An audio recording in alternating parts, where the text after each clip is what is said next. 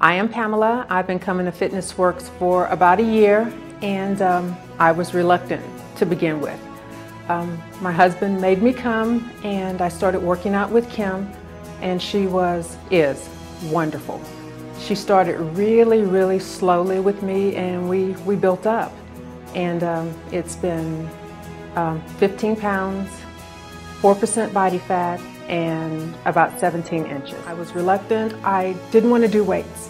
Had no desire to do weights of any kind. And um, as we got going through it, she put me on the weight machines and I liked it. I, I, I really like it. And it, it surprised me because it was, it was much more fun than I thought it would be. I can't believe that it actually worked.